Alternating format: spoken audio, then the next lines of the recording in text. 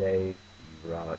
Your puppet, 1938 rock, but you have to know Al Gore invented the internet, invented RSS, invented Web 2.0, everything to do with the internet, Al Gore invented. So he will sue your ass. So watch out.